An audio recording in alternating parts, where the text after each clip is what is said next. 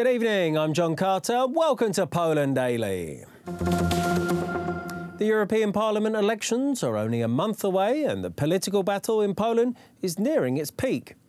The major parties held their conventions during the last week, with the currently ruling Law and Justice Party firmly opposing both the proposal of a two speed Europe and the European coalition scare tactics, in which they accused Law and Justice of steering the country towards a Polexit. The past weekend was filled with political parties' conventions as the pre-election campaigns speed up before the May elections for the European Parliament. Widzieliśmy płonące pochodnie na Jasnej We see members of the nationalist movement with torches being sworn in at Jasna Góra. We see the government allowing the brown processions. We see that just before the elections they once again say they love Europe, but they show the exact opposite. Naszą ideą jest zrównoważony rozwój. Our main goal is equal development. We want this development not because we are representatives of some kind of ideology. We want it as Poles because the Polish nation has to be a community, but the community must be something real. Polska, naród polski to musi być wspólnota. Dziś w tej naszej walce, na tej naszej drodze Today we are facing a very important step in our fight, on our road, the European Parliament elections. The elections for the European Parliament, which we will approach with the slogan Poland in Europe, Europe for Poland. Europa dla Polski. The Spring Parties conference also took place on Saturday in Wrocław. Robert Biedroń once again proposed a meeting between the leaders of the three main parties.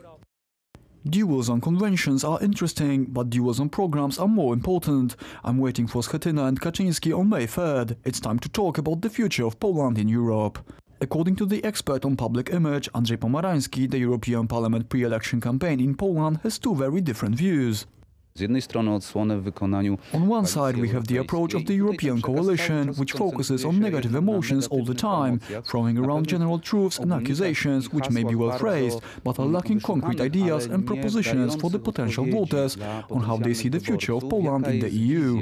On the other side, we have the campaign of the Law and Justice Party, which apart from presenting their stance on the future of the European Union, also presents factual solutions for Poles in matters which will affect them directly, in example to make the quality of everyday products the same as Western European countries. This reaches the voters as it will matter in their everyday lives. spraw dotyczących obywateli Polski. The European Parliament elections will take place on May 26. Poles will be choosing 52 MEPs in 13 constituencies. Two days from now, on May the 1st, Poland will be celebrating the 15th anniversary of European Union membership. Many festivities will be held all across the country. The Minister of Investment and Development, Jerzy Kwieciński, summed up the benefits of the cohesion policy of the European Union. Dzięki obecności Polski w Unii Europejskiej. Thanks to Poland's presence in the European Union and the support Poland is receiving on the basis of the EU cohesion policy, we were able to realize over 200,000 investments in our country. We were given 675 billion zlotys, most of which has already been spent to aid investments. We can say that thanks to the European funds and our presence in the EU, Poland is a completely different country when compared to the state we were in back in 2004. At that point, we said we could do this, but in reality, thanks to us being a part of the European Union and making use of the cohesion policy, we were able to accomplish certain goals. Naprawdę dzięki temu, że byliśmy w Unii Europe, Europejskiej, The new Spanish nationalist Vox party was the big winner in an otherwise inconclusive Spanish election. Vox, which won only 0.2% of the vote in 2016, received 10.3%. The Spanish Socialist Party became the biggest party with 28.7%, but will not be able to form a majority coalition government without the support of separatist parties. The result means that snap elections could take place later this year. Spain's far-right party leader Santiago Abascal said his party achieved a great feat in the national vote and it was just getting started. Abascal's Vox party clinched 24 seats in the national parliament following the vote on Sunday, a first for the far right in four decades. I was convinced that someday we were going to get representation. On October 6, before the Vista Alegre rally, the debate was if Vox would enter parliament with one lawmaker or two, or whether we would remain out of parliament. We are not talking about six years ago, but just six months ago. Six months ago, the debate was whether Vox would enter parliament or not. And today, Vox has 24 MPs. And that is why I say it is a great feat. Vox has laid out its position as an anti-immigrant and anti-abortion party that opposes gender equality laws it says discriminate against men, and with an unwavering opposition to Catalonia's drive for independence. We keep saying that whoever enters Spain illegally needs to be deported. We don't know if we are going to gain more votes with this position, but we are not saying it to win votes. We believe it is a common sense issue and we have to defend it. We don't think this is a far right, right or left issue. I am sure that there are a lot of people watching in their homes who are left-wing supporters and they are worried about illegal immigration, mass migration or that borders are not being respected. The inconclusive result of the election is likely to result in snap elections later this year. The leaders of far right populist Dutch and French parties gathered in Prague as their Czech allies, the SPD, launched the party's campaign for next month's European elections. The ENF party group, fronted by Italian Minister of Interior Matteo Salvini, is expected to become the big winner of the European elections. The party leader of SDP, Tomio Okamura, is a Japanese-Czech businessman and head of the largest far-right populist party in the Czech Republic. He argues that European right-wing parties must unite against mass immigration and EU federalism. The common position in our political group is that we want to return freedom and sovereignty to the European states. We want to finish with the directives of Brussels and return authority to individual countries. The leader of the French National Rally, Marine Le Pen, concurred and added that the fight against Islamist radicalism must be an absolute priority. Immigration should be stopped and Islamic ideology should be eradicated. Globalization should be regulated and economy and oligarchies returned to their proper place. Geert Wilders of the Dutch Party for Freedom was frank about wanting the Netherlands to leave the EU but acknowledged that it's currently not an option. I would rather um, that the Netherlands, um, and this is uh, a national decision, would leave the European Union. But an exit, as we call it. But to be honest, um, there is, after the Brexit, unfortunately not a majority in, under the Dutch public, the Dutch electorate, um, let alone in the Dutch uh, parliament, Uh, to support such a decision. Thanks to the decisions of the Danish People's Party and the Party of the True Finns to join the ENF party group, as well as the record high level of support for the Italian Lega Party, the ENF is likely to increase its share of mandates the most of all party groups in next month's European election. Thank you very much for joining us here this evening at Poland Daily. I'm Jon Carter. Stay tuned after the break for Poland Daily Weather, followed by the business, the culture, history, and finally the travel.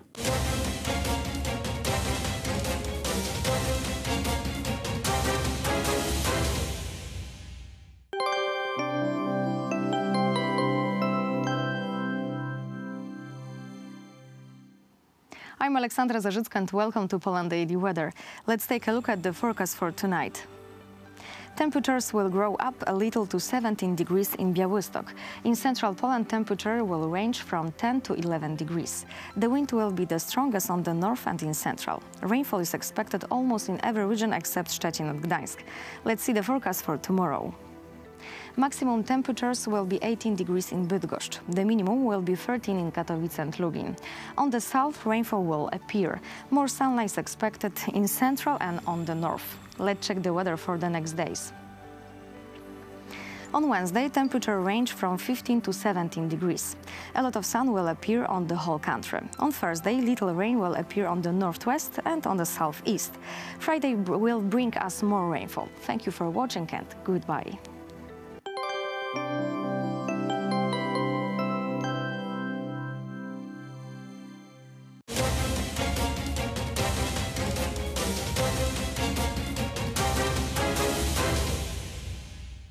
are watching Poland Daily Business Edition, and we will talk to Adrian Kubicki of uh, LOT Polish Airlines about the visa waiver program to United States. Sir, welcome to the show. Hello. We spoke a couple of months ago regarding the action that uh, has been undertaken by the Lot Polish Airlines. Uh, your uh, organization was inviting Poles to apply for United States visa in order to get uh, to fulfill the requirements for the visa waiver program. Right now, uh, this uh, program is, is going to continue and what are the results and what we are expecting this year?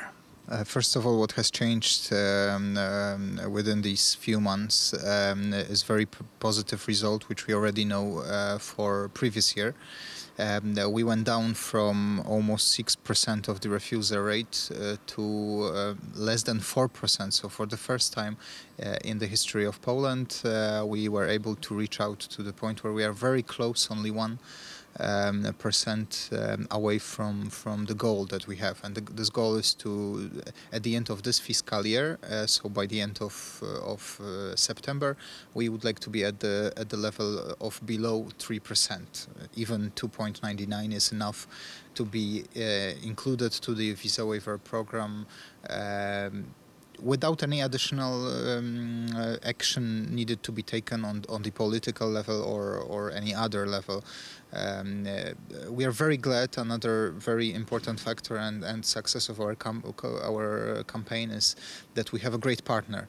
Um, U.S. Um, Embassy in Warsaw um, is right now also aiming and fighting to, to, to, for this uh, for this result to be improved and completed by the end of the fiscal year.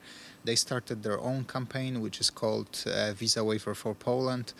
Uh, and together we have the same goal. So we, we have the same messages. We would like to have as many good applicants as possible to, to lower down the, the number by the end of the year. And at the same time, we advise people how to uh, apply for visa um, uh, to make it in a way that which will enable people to, to get this visa. So, so just to do it right. The, problem is that first of all, this is a decades old uh, issue. I don't I can't recall any Polish politician on the level of prime minister or president who didn't promise that he will deliver the visa-free travel to the United States. So far, didn't happen. But uh, on the other hand, Poland is the only one country of the European Union that is not allowed to this visa waiver program, and um, the Polish destinations changed. The, the, the visa waiver program and this uh, um, was not designed for guys who were seeking for illegal work in the United States, and unfortunately, lots of Poles did that. That was a past. Today, it's just uh, people go for vacation or for shopping. Well, last few years showed that Poland is rising star, rising star among other countries in Europe, and, and in fact, if we look at the uh, so-called overstayed rate, so another factor that is uh, also pretty closely watched by by American uh, customs and border control.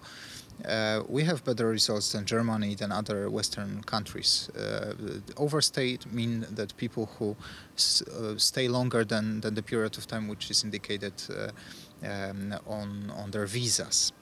Um, so, so you're absolutely right. I don't expect that any uh, mass of people will, will use this opportunity to, to pack their bags and, and leave their country uh, flying away from home. Uh, we live in European Union and a Schengen zone, zone which gives Polish citizens certain opportunities to, to seek for jobs or another another living opportunities uh, within Europe. And we know that even that is not very attractive because Poland is simply a very good place to live in. Uh, to earn money to to to to build up career.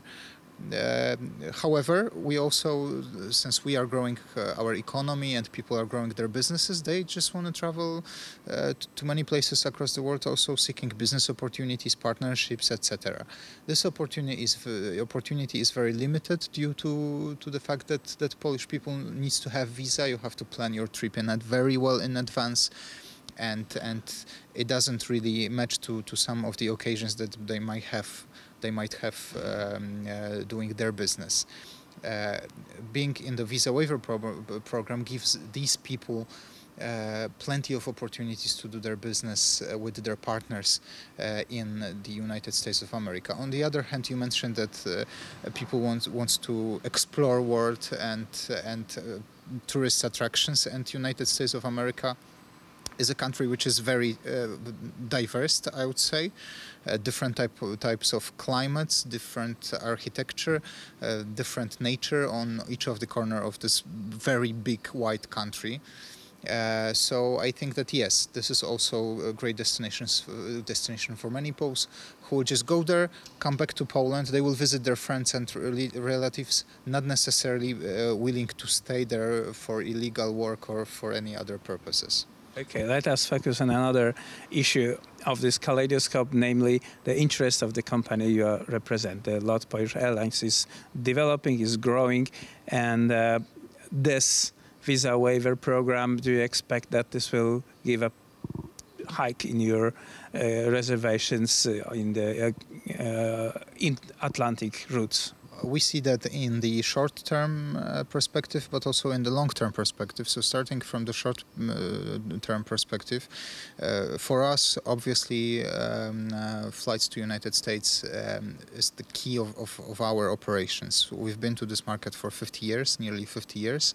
Uh, we are very well perceived. We have awareness, proper awareness, meaning that we will be growing our business there, and waiving visa will actually boost demand on, on travels will enable us to open up uh, connections to secondary places uh, which are not open yet and cannot be open with, with the visa requirements. On the other hand, uh, being in the um, visa waiver family will give us opportunity to build a proper hub, central uh, transportation hub, which perhaps also be place of pre-clearance, uh, which will enable passengers from all over the world to cross U.S. border in the airport uh, in Warsaw, uh, which will obviously be great for will be great for LOT, but also for Polish economy as, as the as the entire economy or in the future airport uh, in the Baranów or this famous Solidarity airport. A new facility which will be uh, greatly uh, built, designed and, and built to, to meet the requirements and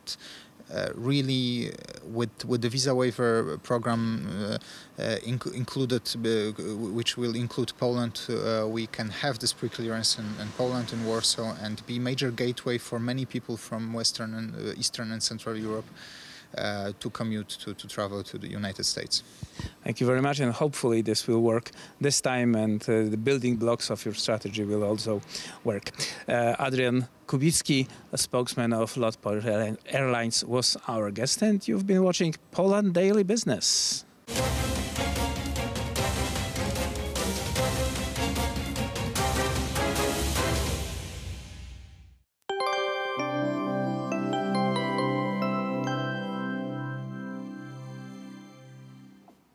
Welcome back to Poland Daily Weather. Let's take a look at the forecast for tomorrow. Maximum temperatures will be 18 degrees in Bydgoszcz. The minimum will be 13 in Katowice and Lublin. On the south, rainfall will appear. More sunlight is expected in central Poland and on the north. Let's check the weather for Europe. In Balkans, temperature range from 20 in Sofia to 24 in Athens. Still warm on the Iberian Peninsula. Temperatures range between 24 and 27 degrees in Madrid. In Central Europe, more rain is expected. Thank you for watching and see you soon.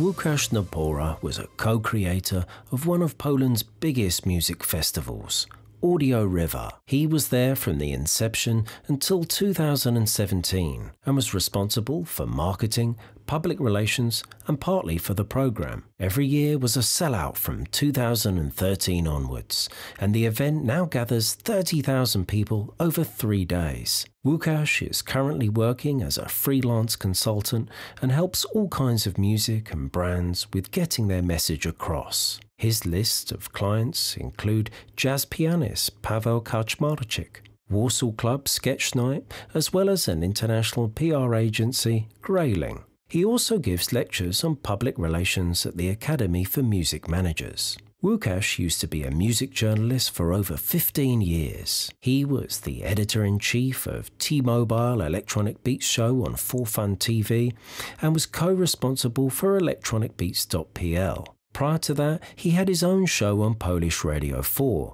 worked for three different TV stations as a host, and had his own column in a music magazine and co created SoundRevolt.com, a bilingual website dedicated to electronic music. Welcome to Poland Daily Culture. I'm Jon Carter, and on this week uh, we'll be looking into Polish electronic music. I'm joined by my guest today, Mr. Łukasz Napora. Hello. Welcome to the show. Uh, so, first of all, Łukasz, uh, just a little bit of background on yourself. So, uh, until recently, you were the uh, sort of, should we say, promoter of uh, Audioriver, Poland's premier uh, electronic music festival. I was one of the organizers, one of the three people that founded the festival. I was co-responsible for the program, for its strategy, uh, the program strategy, and mainly for the communication of it. So I was the marketing guy, the PR guy, the spokesperson, and the face of the of the event. And so, uh, for people who maybe are, not familiar with Audioriver, uh, could you tell us a little something about it and how you got started with the festival? Uh, there are probably many people who are unaware that Audioriver exists because it's a it's a niche kind of music. Well, it was when we started in 2006. It's electronic music, it's quality electronic music that you probably don't uh, really see on mainstream media or hear on mainstream radio. Um, it's a niche that's growing and uh, people are gathering, you know, big festivals are gathering hundreds of thousands of people. Like Tomorrowland in Belgium has 250,000 people uh, for this kind of music. So it's huge uh, in the world, and uh, and now it's also big in Poland.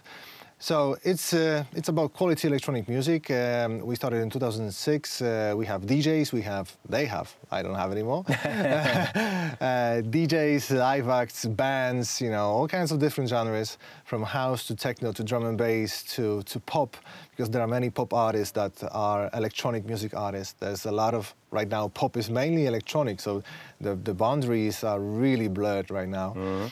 So um, we started in 2000, 2006 as a, we wanted to be a quality music, electronic music festival uh, and not just like a mainstream electronic music festival that were going on in Poland uh, in, in, at that time. Um, we wanted to have some quality music without the mainstream music because we wanted to have some, I'm sorry to say that, quality people. Because at mainstream electronic music events with trance music like Tiesto, and, and there was a lot of aggression, mm. people in tracksuits. Uh, we call it dressy. Mm. Uh, I'm sorry, uh, but that was the problem. And I, when I went to uh, parties like that, uh, I didn't feel safe. Mm. So there could be a stage with uh, quality music, uh, electronic music, niche, alternative. Uh, so you could go there, but then when you went to, a, like say, a food station or a food court, you felt like you're not in the right place. You're, you feel, okay, I'm just this small, thin little guy with all these people going to gym five times a week. So we did. We wanted to build something different, and uh, mm-hmm. that's how Audioriver came about. And uh, the first flyer, the first poster was showing three signs, like road signs.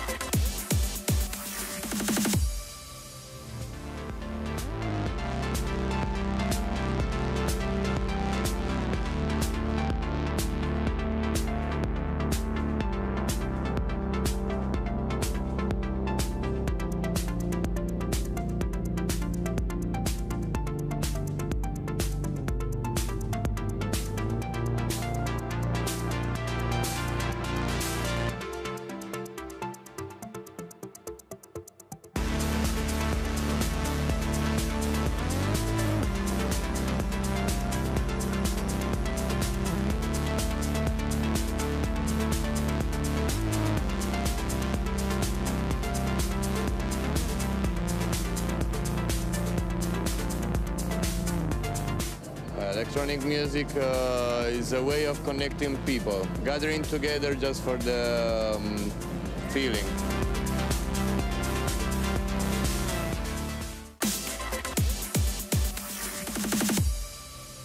well, for, just in case people aren't aware of what Yeah. the kind of white glove culture Yeah, is, yeah. Uh, you know, this is kind of like hardcore and glow sticks and do do do do do do do. very simple electronic music Uh-huh. and um, and- simple mm, people, I would say. Uh, there's nothing wrong with that, but we wanted to have something different and, and maybe get those people that will go to those events and teach them a different way of, of partying and teach them a different way of uh, different kinds of music. So no glow sticks, no white. Well, there wasn't no. We didn't have anything against glow sticks, but white gloves were like a statement. Not this kind of uh, party here. Uh, also, there was a tracksuit. There was uh, no tracksuits, so we didn't want to dress it. And uh, also, there was a cow that was Right. crossed. And uh, I don't get that. in Poland, we say bydło, which is like make being rude and unco- you know Right. basically being rude and not knowing how to behave. Yeah. So no such behavior on our venue at our venue. So this was the statement, um, and uh, we had three stages, and the party was for free uh, for the first two years. Uh, first year, 20,000 people. The second year, 40,000 people. But there was a great weather, and you could even see like people from Płock because it's in not it's not in some major city. It's in Płock, which is like 1,000, 100,000 people, 120,000 people. Um, it used to be a capital of Poland for like a short while. Really, I didn't know that. Okay. yes, but a very short while, and um, uh, and it's a beautiful place, Mm-hmm. but still not the biggest one, and uh, a bit of aside from main, uh, you know, communication uh, Routes, yeah. routes, yeah. So this is uh, uh, this is on the second in the second year we could see you know uh, women from Płock strolling with their you know uh, children uh, through the festival grounds. Uh-huh. It was for free; anyone could get in. So there was a, like a mixture of electronic fans and just people who were bored in Płock.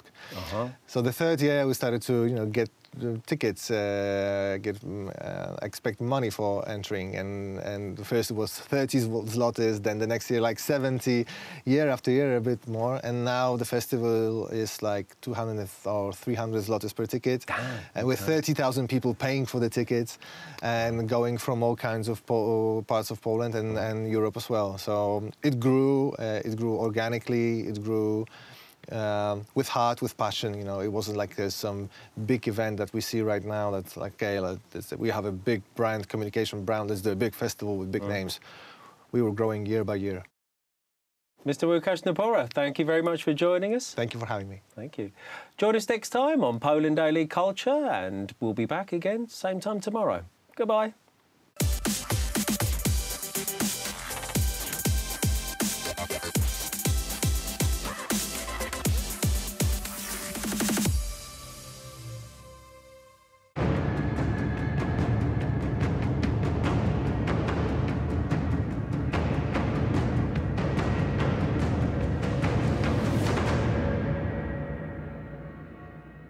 Ladies and gentlemen, welcome to Poland Daily History.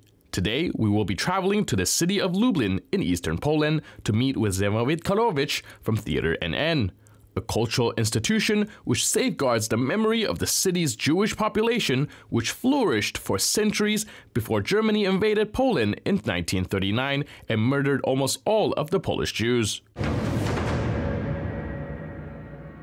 The Jewish population peaked in terms of percentage in Lublin during the 19th century until people around Lublin started moving in. And I think before the Second World War, there's still one third of the population being Jewish. I was hoping you could elaborate about the cooperation or the relationship between the Polish population and the Jewish population between the world wars. Well, it's a very long subject, but I can say that uh, more and more uh, Polish people were uh, traveling to our town and settling here uh, because of development of our town. There were new factories um, uh, that were being created in our town. Uh, the city was more and more uh, modern uh, with electricity and so on. And also Jewish people that were here, uh, most of them were of the Hasidic movement. Um, and they, while uh, they were under um, Tsar regime, uh, they were kind of persecuted. They were not the first class citizens. Right. When the mm, freedom of Poland started in 1918, uh, suddenly they found themselves first class citizens with all of the privileges and laws that Polish people In had. Lublin. In Lublin also. And they, well, they also started to develop. Uh, the Hasidic community built amazing building, uh, the second yeshiva, the high rabbinic school, uh, that is uh, one of the not many places that are still in existence today. They were, it was not destroyed by uh, Germans. Uh, they uh, gathered the most important and most the wisest rabbis to to teach in that school. It was an Oxford for the Jewish people. Uh, to be a student of this university, you have to be, um, you have to have a letter of recommendation from two separate rabbis. You have to pass a very hard exams and so on. And the rabbis that graduated at that, that uh, university were really sought after in all of the Europe. Um, also, uh, the, mm, but the Hasidic movement was not only movement in the uh, Jewish district. There were socialists, um, secular Jews. Uh, they were trying to create a new uh, building, um, a community house for, for Jewish people, uh, the House of Peretz, they were calling this. And uh, this building, uh, this community center, should be opened on the September the 1st of 1939. This was the day the war broke out, and it was never really opened. Also, there were assimilated Jews, uh, Jews like Franciszka Arnsztajnowa, the great poet. You see, when I'm reading the poems of that lady, she's Polish. She's really deeply pat- patriotic. And um, there were many Jews like this. But all of these um, uh, groups have the one point of interest that was joining them. It was a trade. They were trying to make a living, uh, let's say. Uh, so some of them were trading with Polish uh, citizens, but some of them, especially Hasidic uh, people, were very closed. Uh, th- their society was not open for uh, another religions or cultures. So they were trading among each other, they were in marrying among each other, having friends, and so on. These people were speaking mostly Yiddish. Some of them were not speaking Polish at all. They were hiring translators when they have to go to the court. Polish law was not had no problem. Polish authorities had no problem with this. Um, but still, this was a very closed society, and Polish people were not interfering with this. Um, still, the people who were let's say, uh, assimilated, they have their part with uh, the life of our city, of life, life of our town, uh, cultural life, and uh, many others. You see, um, they were, have uh, theaters, they have cinemas, uh, movies like Dybuk was made uh, on, in the Kazimierz near Lublin. Uh, this was one of the greatest uh, Yiddish movie ever made. Um, many other uh, cultural events were taking uh, place in the Jewish district. Also, there were mm, things like uh,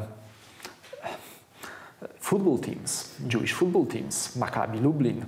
Um, they were playing with uh, Polish football teams also, and there were some even uh, problems with uh, uh, football fans, like always, let's say.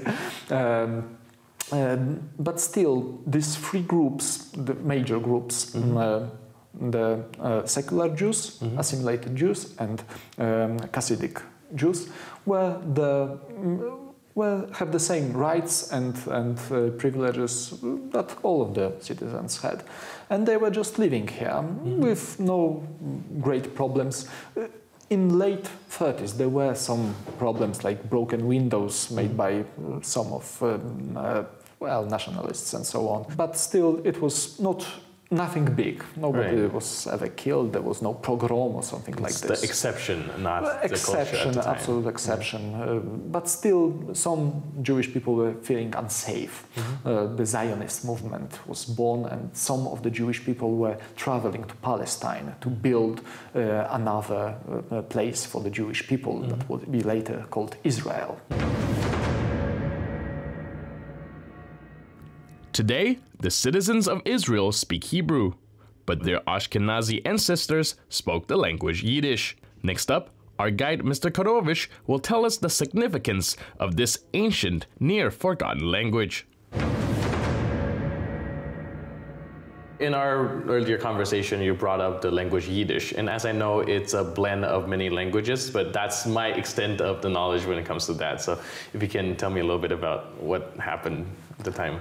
Well, uh, Yiddish is a very special language. Right. Uh, you see, when the Jews uh, came to Europe, mm -hmm. they were mostly speaking some Roman language. Right. We are not really sure how it sound, uh, uh, sounded, but when they were coming to the east, mm -hmm. they were traveling through Germany, mm -hmm. and they pick up picked up lots and lots of the words and and the grammatic structure of the German language. When they came to Poland, they again pick up some words from Slavic uh, speaking mm. Polish people and they created unique language with some parts Hebrew, some parts uh, from Roman languages, mm -hmm. many parts, most of the parts were from the German mm -hmm. language, and also some words are Polish uh, words.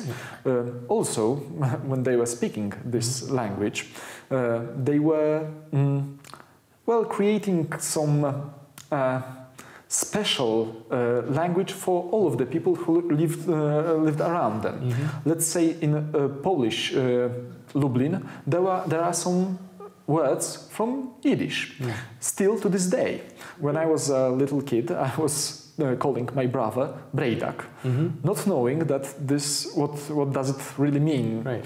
This is from Broidak, this is from Yiddish. Oh. Uh, many other words are uh, also, uh, like for the naughty child, Bachor, mm -hmm. it is also from Yiddish. Yeah. Also, the Yiddish language pick up many words from Pol Polish, like sosna, or even uh, the uh, pickles are called ogórkas. This is also Polish, yeah. Polish word. Um, the Hasidic minority in Lublin were uh, extremely uh, connected to that language. Mm -hmm. All of the wise men were speaking this language. They were creating the books of literature, of, of uh, philosophy, of theology mm -hmm. in exactly this language. Mm -hmm. They were speaking on a daily basis in this language. Why? Because Hebrew was the holy language.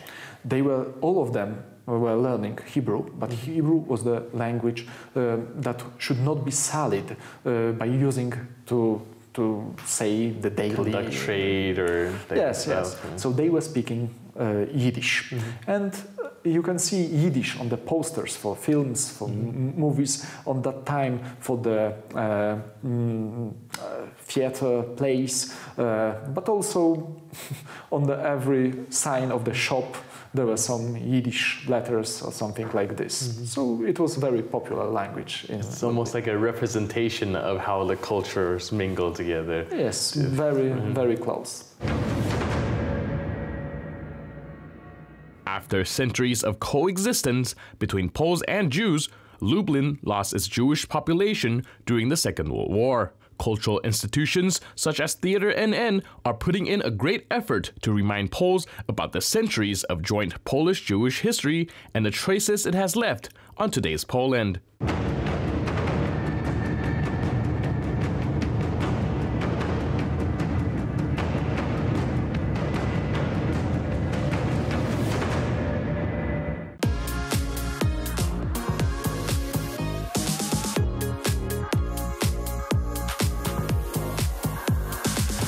Hello, everybody, and welcome to Poland Daily Travel, where this time we say, Head east, young man. We're going in search of Eastern promise to the Białystok region, about two hours, give or take a few kilometers uh, east of Warsaw. This is an area of hidden treasures, castles, palaces, wildlife, and of course, water and the great forests. The Branicki Palace in the center of Białystok stands out as a Baroque masterpiece, often compared, in its own way, to a smaller version of Versailles. Then there is the unmissable little fairy tale town of Tykocin. It lies in bucolic splendor astride the Narew River, with its fine church and synagogue and restored castle. It's an undiscovered Baroque jewel. And so we scratched the surface at least to tempt you to the wonders of this beautiful and wild region of Poland. We know you're going to really enjoy these episodes. So stay tuned as Poland Daily takes you to the Białystok region, the far east of Poland. Visit our Poland Daily Live page and subscribe to all our great programs. Thanks for watching. Welcome back to Poland Daily Travel, and this is very exciting. We're here on Passover Friday, and uh, I'm standing and talking to Bogusław, who is a local historian, and we're in the Bima and the great synagogue in Tykocin, which is a beautiful small town in eastern Poland near Białystok. Um, what is a, could I sit in one of these chairs? Oh, of course not. What do you mean, of course not? It's This sounded optimistic at the beginning, No, but no? Why can't I sit there? because it's a really worth meaning for. I can't sit here. No. Maybe not try. No. Maybe not try. I, I shouldn't sit here or you there. should sit. No. But this one, Yeah. you could use just in the one situation of your life. Yeah, what would that? If be? you would have a son, it will be eighth day of his life. The And- eighth day of his life? Yeah, and Yeah. you will go here to synagogue, to Okay. Berg, to make circumcision. To make a circumcision? Yeah. Good Lord. So it's the first ritual Uh-huh. that will mark that guy as a Jew. Okay. And to that fact, we need a special chair. Okay. It's every time it's divided as for two people, but it's Okay. not for two people. It's just for one guy that he will sit here with with with kid, with a boy, and and uh, another place will sit the prophet Eliah. The prophet Elia? Yeah. You mean the actual one or, or the, the, his stand in? We know that he's here during that moment. Ah, he's, his spirit is here. Yeah. This is what we're talking about. So the spirit of the prophet Elia is here, and the kid's on the other side, and it's so it's basically a circumcision chair. Is that what you're telling me? Yeah. It's like a doctor's office or something. We can say in like a that. sense. Yeah. Yeah, of course, it was in traditional community. Yeah. Now we will go to hospital. You would go to the hospital for Yeah. that. But in the old days, if you were you got you were lucky because you could get it in front of everybody here in the church. Yep. Good Lord. A day of life. Yeah, on the eighth day of your life. So probably not a good idea for me to sit in there in case the prophet Elia, you know, Maybe he wants to get up to something. he wants to get up to some mischief. Okay, a little a little humor in the synagogue. Um, what else would be taking place here? Try to imagine that the boy that will is already after circumcision. Okay. The next time that he will can stand here, it will be in the 13 years Okay. later. It will be the moment of bar mitzvah.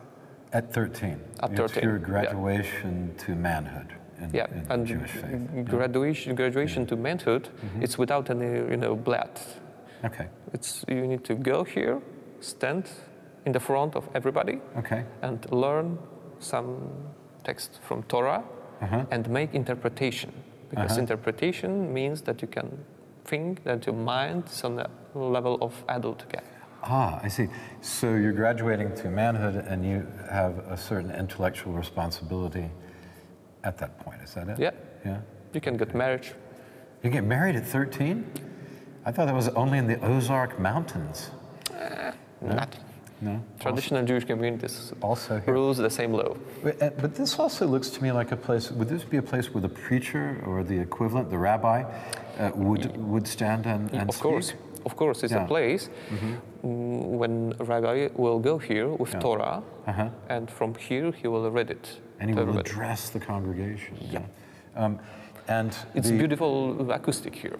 It's, well, yeah, we it's can see. you know uh, we can hear actually. Yeah, Yeah. it's like in the good uh, Greek theater. Yeah. So this little archway, or rather tall archway, Baroque, we could say archway, isn't it? Yeah. Um, would uh, the sound goes up and then it goes out through the through these uh, these arches at the top and also out through here. Okay, so we're this is the place where the main rituals take place. It's the bar mitzvah. It's the circumcision. Uh, it is. And all liturgy. Yeah. And all the liturgy takes place here. So this is rather a large pulpit. If you're a Christian, you would look at this as Yeah. a, a Yeah, large example of the pulpit. Okay, so you have a central command. Um, all around, we have men and women sitting and children? Just men. Just adults. Only men? Only men, only adults, so means. Yeah. The, the, the- And that's the case till today, right? Yep. Uh huh. And the feminists don't complain about that? They have no time to complain. They're not allowed to complain. They are not allowed to complain. Very yeah. interesting. Um, okay, so this room would be, this is very dramatic. So you have uh, the uh, rabbi, uh, is there only one rabbi or is he joined? It's one. It's just one who, Mhm. who's in charge. So the rabbi is here and he is performing the liturgy and the place is, is full Full uh, around people, him yeah. of, of men Of only. Yep. Okay, stay with us on Poland Daily Travel. We're in the Great Synagogue in Tykocin. Uh, we're in the Great Synagogue in Tykocin. Okay, got it out right. And uh, we're going to go find out what the women and children do, right? Would Let's be go. okay? All right, let's go have a look. Stay with us.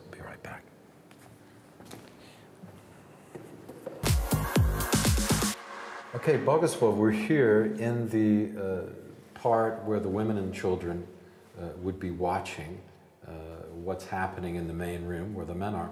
But this is an important room. Why don't you tell us about, or an important section of this, uh, of this uh, hallway? Yeah, we already spoke about the fate of Jewish community of Tykocin, and uh, I said you that in August of 1941, all community, so it means about 2,000 people, were forced to go to Łopuchowo forest, and they were shot to death there.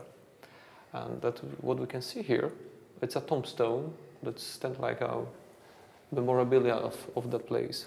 So th- this is there today. Yeah, it's how it looks today. So they were marched off to a forest several kilometers from It's the town. five, it's, yeah, about Yeah. five kilometers. About five kilometers, and they were all killed. Okay. Yeah. But Yeah. but not all people went there. Not everyone went there. Not okay. everyone. It uh, it was Some escaped. Yeah, it was it were 17 people that, uh, according to many reasons, weren't at that moment in Tykocin. Okay. Some of them were in, in other towns, and one guy, Abraham Kapica, stay in his house. Abraham? Abraham Kapica. Kapitsa. Abraham Kapitsa. Okay. Yeah, and he stay in his house Mm-hmm. in the moment when Germans ordered for everybody to go to that forest. Okay. Why? Because his father asked him to do, and he said, "Stay here and look on, on everything. Maybe they will came here and will try to steal something." They'll try to steal our Yeah. chickens or our goats or something. Yeah. So stay here and keep an eye on things. Keep an yeah. eye on things, and he survived. As if you could stop the Germans from taking what they wanted. Yeah. Yeah.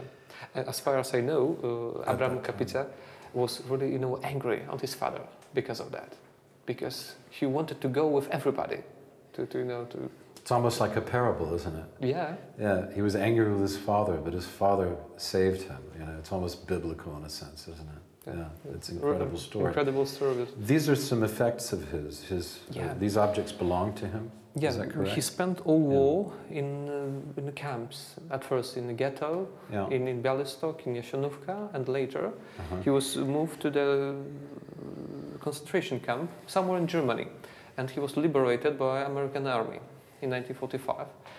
And after the war, like, he emigrated to Israel, and he lived there till his uh, final day.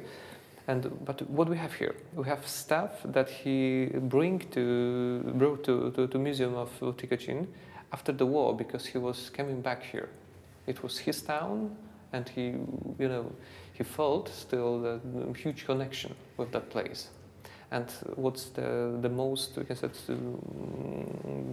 what what give us hope that the history of Tykocin Jews didn't finish in Łopuchowo, but because of for example, Abraham Kapica, it's continuous. It's still still alive. Just yesterday, you, you haven't you know chance to meet the family of Abraham Kapica with mm, his daughter and grandchildren that came. They here. were here. Yeah, they were here yesterday. What a shame we missed them. Yeah. Yeah. Um, they uh, live where now? in Israel. They live in Israel? Yep. Yeah. So they're part of the 70,000 people that pilgrimage here every year. Every year. Excellent. This, the man's name, Abraham? Kapitsa. Kapitsa.